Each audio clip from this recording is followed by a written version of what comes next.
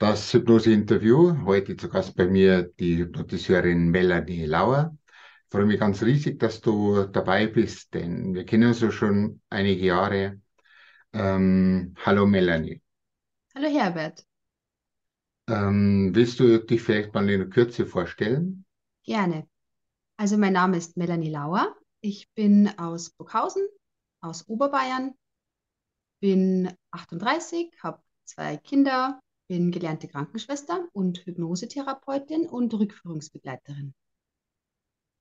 Genau. Ja, sehr schön. Ähm, was hat dich eigentlich äh, zu dem Thema Hypnose geführt? Denn Hypnose ist ja etwas ganz Außergewöhnliches, mit Mythen behaftet, mit ähm, Vorurteilen behaftet. Was hat dich dazu bewegt, Hypnose zu lernen oder Hypnose anzuwenden bei dir?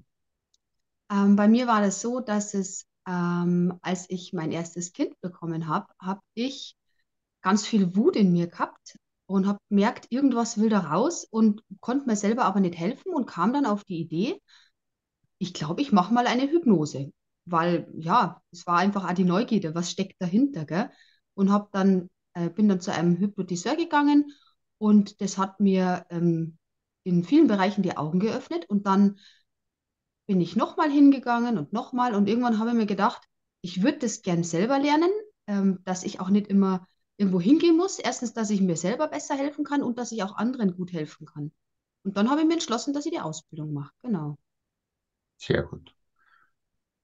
Was waren denn so deine Erfahrungen mit der Hypnose, zum Beispiel in der Zeit, wo du schwanger warst oder vielleicht auch danach? Hast du danach auch nochmal Hypnose gebraucht für dich selber? Ähm, also ich habe das in der Zeit gemacht, nach der Geburt das erste Mal. Also in der Schwangerschaft habe ich es gar nicht gemacht. Ähm, die Erfahrung war, dass dadurch sehr viel, was ich in meiner Kindheit unterdrückt habe, mir aber schon bewusst war, nochmal ans Licht kommen durfte und ich das tatsächlich dadurch heilen konnte in mir. Also es war wirklich eine sehr, sehr, sehr, äh, sehr großer Schritt oder sehr große, wie soll ich sagen, eine sehr große Sache, die da in mir passiert ist und natürlich dann auch mit meinem Umfeld, dadurch, dass ich mich so stark verändert habe ins Positive. Genau, weil du dich veränderst hast, genau. verändert sich auch dein Umfeld. Genau. Richtig. War so in der Zeit, wo du hast du oder in der Selbstständigkeit, äh, wo du gehst oder gegangen bist, hast du da Hypnose als Coaching für dich selbst auch hergenommen? Ja, ich habe tatsächlich das Hypnobirthing gemacht ähm, und habe mich bei der zweiten Schwangerschaft ähm, jeden Abend sozusagen selbst hypnotisiert, habe mir meinen eigenen Text geschrieben, meine eigenen Suggestionen und habe dadurch eine absolut schmerzfreie und wundervolle äh, Geburtsphase erlebt. War ich selbst überrascht. Ja, das war klasse. Sehr schön. Das sind ja tolle Erfahrungen, die du da gemacht hast. Ja. Ja, und so ist ja viele Leute würde Hypnose ja helfen, sehr stark helfen, aber Hypnose ist mit vielen Mythen behaftet, mit Vorurteilen behaftet, Ängsten. Wie hast du Hypnose erlebt, beziehungsweise wie würdest du Hypnose beschreiben? Also ich habe Hypnose immer als sehr aufregend und spannend erlebt und ähm, mm, wie würde ich es beschreiben? Für mich ist Hypnose ein optimales Werkzeug, um mir selbst zu helfen, um an mein Unterbewusstsein ranzukommen, um Dinge dann einfach selbst umzukreieren, die für mich nicht mehr stimmig sind. Und wenn man mal dahinter kommt, warum verhalte ich mich zum Beispiel immer so und so, dann versteht man sein eigenes Muster und dann kann man sagen, so, und jetzt mag ich es ändern, ich hätte es gern so und so. Also für mich ist das ein super Werkzeug, um einfach mit sich selber zu arbeiten und dadurch sein eigenes neues Leben zu kreieren. Genau. Es ist ja auch relativ schnell. Also zumindest meine ja. Erfahrungen sind die, äh, ist die, dass es relativ schnell und relativ einfach geht im Verhältnis zu anderen Methoden, die es gibt, äh, Menschen zu helfen. Definitiv. Ja, du hast ja viele Ausbildungen schon gemacht äh, in der Hypnose äh, und sogar eine als Rückführungsbegleiterin, wo ich mich noch daran erinnern kann. Was war so der Grund eigentlich dafür? War das der Grund durch die Geburt, durch das eigene Erleben? Ähm, für die Rückführungsbegleitung? Ja, ähm, auch für die Hypnose genau. oder Rückführungsbegleitung, ja. Genau, das, das Ausschlaggebende war wirklich bei mir die, die erste Geburt, weil da sehr viele alte Traumata in mir hochkamen. Und ich habe dann aber auch gemerkt, ähm, ich habe mich lange mit dem Buddhismus auch beschäftigt und habe, für mich war das schon immer klar, es gibt frühere Inkarnationen. Und irgendwie hat es dann Klick gemacht bei mir. Und mir war klar, wenn ich das alles weiß, was ich früher so erlebt habe, ich bin ja ein Produkt aus meiner Vergangenheit und nicht nur in diesem Leben, dann ähm, ist das auch nochmal ein guter Schritt in Richtung Heilung. Und deswegen habe ich mich dazu entschlossen, ähm, bei mir selbst mal eine Rückführung auszuprobieren. Ich habe mich dann belesen, da habe ich ja bei dir noch gar nicht die Ausbildung gemacht und habe dann festgestellt, Wahnsinn, das funktioniert wirklich. Und dann habe ich beschlossen, jetzt möchte ich es professionell lernen, ich möchte es an andere weitergeben, ich möchte mich da weiterbilden, ich möchte da ins Detail gehen, möchte mich da ver, vervollständigen. Genau. Hast du so in der, in den Schulungen etwas Besonderes, Eigenartiges, Außergewöhnliches erlebt? Direkte ja, also an, an eine Sache kann ich mich erinnern, die war für mich so faszinierend, weil natürlich, bevor man das probiert, zweifelt ja irgendein Teil in einem immer noch manchmal so, ist das wirklich so? Funktioniert das auch bei mir? Und du hast mich damals zu einem stählernen Metallträger verwandelt. Und da waren nur zwei Personen, die mich einmal an den Fersen, einmal im Genick gehalten haben. Und ich war komplett starr und steif. Und ich habe mich aber so leicht gefühlt wie eine Feder. Ich habe das Gefühl gehabt, ich bin wie, wie Wackelpudding, wie Gummi, wie, wie Luft. Das war so irre, dieses Erlebnis. Und da, das war ein ganz großer Aha-Effekt in mir, wo mir klar wurde, meine Gedanken steuern alles in mir. Also auch meine ganze körperliche Reaktion. Alles einfach. Es war sehr, sehr prägnant. Da denke ich heute immer noch dran, sehr oft. Genau, das war die, äh, die kataleptische Brücke. Ja, genau. Sie auslösen durch Suggestion und durch Vorstellungsübungen. Da muss man natürlich wissen, wie man das genau macht, aber wenn man das lernt, geht das sehr schnell und man kann so einen Aha-Effekt bei den Leuten auslösen. Viele, mhm. die wo an der Hypnose nicht glauben, kann man so das erste, das so die Blitzhypnose nach hinten ziehen. Du kennst ja das Gefühl? Ja. Wer sich nach hinten zieht, ohne dass dich jemand berührt, äh, zeigt die Leute, hat er sein Energiefeld da. Da kannst du mhm. über die Energie später noch was so erzählen, über deine Energiearbeit, so was ich jetzt im Kopf habe, mhm. was du äh, beginnst zu machen oder schon machst. Da tust du dann später vielleicht noch was dazu erzählen damit ja. wir auch so mit äh, teilhaben können an dem, was du noch vor dir hast. Ja, ähm, vielleicht willst du etwas Werbung machen für dich jetzt in der Zeit. In der Kürze kannst du ein bisschen Werbung machen, was du vorhast, äh, was du so planst und so weiter. Das wäre so das Interessante. Vielleicht auch das mit der Energiearbeit kannst du auch gleich mit reinbauen. Ja, also ich ähm, habe ja dann noch eine zweite Hypnose gemacht bei dir, wie du dich wahrscheinlich erinnern kannst, wo es um das Thema Berufung ging, weil ich einfach ähm, immer noch so ein bisschen im Zweifel war, ist das, was ich vorhabe, wirklich auch das, was ich machen soll, was, was meine Berufung ist. Und dadurch hat es wirklich auch Klick gemacht. Da war der letzte Zweifler dann weg. Und es ist jetzt ganz, ganz fest einfach in mir dieses, diese, dieses, ähm, dieses Wissen, ja, das bin ich und das mache ich. Und dadurch habe ich mich ja dann so entschlossen, ähm, meinen Beruf als Krankenschwester komplett aufzugeben und mich komplett dem Rückführungsthema und der energetischen Arbeit zu widmen. Also das ist jetzt das, was ich vorhabe, das auszubauen für die für jeden zugänglich. Bis jetzt habe ich viel im Bekannten- und Verwandtenkreis gearbeitet und jetzt möchte ich es einfach off, äh, öffentlich machen für alle oder zugänglich für alle. Das bedeutet, ähm, also ich nenne es ähm, Systemlesen. Wenn jetzt jemand eine ähm, Einzelsitzung bei mir hat, dann funktioniert es das so, dass ich mich mit seinem Energiesystem verbinde von demjenigen Menschen, der da ist und kann da sehr viel abrufen, sehr viel ablesen, sei es auf körperlicher Ebene Blockaden oder auch emotionale Blockaden, dann ähm, die Glaubenssätze, die damit zusammenhängen oder die daran gekoppelt sind und die wiederum basieren ja auf früheren Inkarnationen. Erlebnisse, die wir immer wieder hatten, Erfahrungen, führen ja irgendwann zu positiven und negativen Glaubenssätzen. Und das formt uns ja und das macht ähm, im schlimmsten Fall auch irgendwann körperliche Symptome, wenn wir den Glaubenssätzen, wenn uns das nicht bewusst ist, dass wir negative Glaubenssätze in uns haben. Und das kann man auf energetischer Ebene alles lesen und kann dann ähm, verstehen, also derjenige, der da ist, versteht dann, ah, okay, jetzt weiß ich, warum ich so und so bin und so und so denke und so und so handle.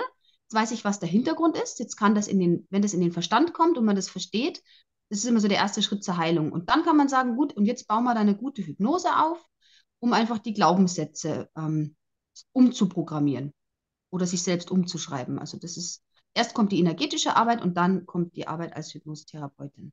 Genau, ist ja eine gute, äh, gute Kombination, äh, genau. das Ganze. Ja, also auch Hypnose kann man gut kombinieren mit anderen Dingen, äh, zum Beispiel mit anderen Heilmethoden oder Erkenntnismethoden, mit dem Jägercode und so weiter. Es gibt ganz viele Möglichkeiten, wie man das machen kann oder auf der energetischen Ebene, wie du uns gerade erzählt hast. Ja, vielleicht, wie kann man dich erreichen? Hast du eine Homepage und wo behandelst du? Machst du das auch online? Machst du das nur in der, in der Praxis zu Hause oder wo auch immer? Also ich mache das tatsächlich nur in echt, nicht übers Internet, ähm, weil das einfach mit der energetischen Arbeit ähm, nicht gut über die Ferne funktioniert. Also das ist meine Meinung. Das bedeutet, ich, ich arbeite in Burghausen. Ich habe da ähm, die Möglichkeit, mir einen Raum anzumieten dafür. Und ich fahre aber auch zu den Leuten nach Hause, wenn es nicht so weit weg ist. Also ich sage jetzt mal, äh, halbe Stunde Fahrzeit einfach. Ähm, die Strecke nehme ich auf mich. Und ja, das liegt dann bei demjenigen selbst, ob er zu mir nach Burghausen kommt oder ob ich hinfahre. Und die, die weiter weg wohnen, müssen ohnehin herfahren. Genau. Und wie man mich erreichen kann, ähm, ja. am besten, also mir persönlich, ich habe natürlich eine Homepage und auch ein ähm, E-Mail-Postfach. Mir persönlich ist es aber lieber über das Telefon, über WhatsApp, über Telegram. Genau. Genau, deine Kontaktdaten kann ich ja gerne weitergeben, beziehungsweise ich werde sie auch dann einblenden und in der Videobeschreibung, die ist dann da unten, oder auch oben werde ich einen Link hinsetzen. Dann können die gleich deine WhatsApp-Nachricht oder deine E-Mail-Nachricht, ähm, WhatsApp oder E-Mail nutzen, um dich zu erreichen, dich zu kontaktieren und einen Termin auszumachen. Man kann ja auch in Burghausen schönen Urlaub machen. Wenn jemand das wert ist, dass es ihm gut geht, dass er Blockaden löst, kann er nach Burghausen gehen. Ist ja, glaube ich, auch eine Ritterburg in Burghausen, ist das so? Die längste Burg der Welt sogar. Sehr gut. Genau. Gibt es auch äh, tolle Sehenswürdigkeiten? Ja, ja. Also es gibt natürlich die Burg, es gibt die wunderschöne Altstadt, es gibt dann auf der anderen Seite den Wörsee, Naturschutzgebiet ähm, und sehr viele Möglichkeiten auch zu übernachten. Und ähm, die Salzach fließt direkt in der Nähe. Also eine super Kombination aus Kultur und Natur. Genau, also Kurzurlaub ist es wert, ist sogar manchmal sehr gut, wenn man nicht zu Hause ist, sondern etwas weiter weg geht, denn dann ist man in dem Moment von seinen Blockaden, von seinen Gedanken, von seinen Problemen etwas weiter weg, etwas entfernt. Da kann man vielleicht sogar viel besser arbeiten. Ja, das wäre vielleicht für manche ein Grund, dass sie nach Burghausen kommen und dort in der schönen Stadt dann Urlaub machen. Ja, das war jetzt sehr interessant, was du so uns erzählt hast. Vielleicht machen wir nochmal ein äh, Interview in einem halben Jahr, wie es da dann geht, oder in einem Jahr. Ja, sehr gerne. Äh, da kannst du dann, dann erzählen, was deine Erfahrungen sind, äh, wie es dir geht, wo du jetzt ganz genau bist, vielleicht mal mit ein paar Fotos und so weiter äh, machen. Äh, das können wir gerne im Auge behalten, dass wir in einem halben Jahr, Jahr nochmal ein Interview machen, wenn du willst. Ja, sehr gerne. Ja, das war auch für mich sehr interessant. Ähm, es freut mich ganz besonders, dass du heute dabei warst und ich wünsche dir äh, alles Gute zu dem Start in das Neue hinein. Ähm, da du ja das mit der Krankenschwester aufgegeben hast und dich jetzt neu orientieren willst, rein auf dem Gebiet arbeiten willst und deinen Lebensunterhalt äh, bestreiten willst damit und gut leben willst. Ich wünsche dir das von ganzem Herzen. Danke. Und ähm, ich finde, du sollst dir und deinem System, deiner Arbeit treu bleiben, weiterzumachen und einfach auch den Menschen helfen. Dann will ich mich von dir verabschieden. Servus Melanie, bis zum nächsten Mal. Servus Herbert. Ja, das Hypnose-Interview soll so etwas Ähnliches werden wie der Rote Stuhl. Ich hoffe, dass dir dieses Interview sehr gefallen hat. Es war das erste in der Reihe, wo immer mehr und mehr kommen werden. Nicht nur prominente Leute wie beim Roten Stuhl, sondern auch Leute wie du und ich, Leute, die Hypnotiseure sind, Rückführungsbegleiter oder auch Klienten. Wenn du etwas, äh, wenn du dich vorstellen willst, willst bei mir, wenn du etwas Interessantes zu berichten hast, dann schreib mir einfach eine E-Mail oder eine WhatsApp-Nachricht, dann können wir gerne ein Interview, so wie dieses hier, starten. Und du kannst dich bekannt machen, du kannst etwas von dir erzählen, die Leute werden auf dich aufmerksam. Aber jetzt will ich auch etwas zu mir selber sagen. Ähm, du kannst Hypnose bei mir lernen, Rückführungsbegleiter bei mir lernen oder auch den neuen Jägercode, da gibt es ein neues Programm. Du kannst es entweder in einer Einzelschulung lernen, also da kommst du nach Berchtesgaden zum Beispiel, lernst es bei mir einzeln. Du kannst zwei Leute mitbringen, beziehungsweise du und doch jemanden.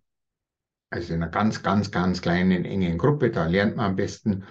Oder du machst einfach einen Online-Kurs, da kannst du das so lernen, wie du das willst. Du brauchst kein Hotel buchen und so weiter, sondern kannst es zu Hause machen. Einzig, was du brauchst, ist einen Probanden, mit dem du üben kannst. Ansonsten ist alles da. Ein Videokurs mit äh, Unterlagen und so weiter und natürlich auch ganz wichtig ein Zertifikat und eine Prüfung dazu. Die Prüfung ist natürlich nicht schwer, aber du sollst natürlich das Wissen haben, damit du auch anständig und gewissenhaft mit Leuten arbeiten kannst und ihnen mit Hypnose oder Rückführung helfen und sie unterstützen kannst. Ja, es hat mich gefreut. Ähm, bleib dran, denn es wird immer mehr und mehr Neues geben, unter anderem auch den Jägercode. Da gibt es jetzt die moderne Version, wie das Ganze funktioniert. Schau einfach in meinem YouTube-Kanal rein, damit du alles immer neu, etwas Neues erfährst, damit du äh, nichts verpasst. Abo dalassen, Glocke drücken, das ist immer ganz wichtig. Und natürlich ein Kommentar, da freue ich mich drüber. Und so wünsche ich dir einen schönen Abend oder einen schönen Tag und viel Erfolg. Bleib dran, dein Herbert.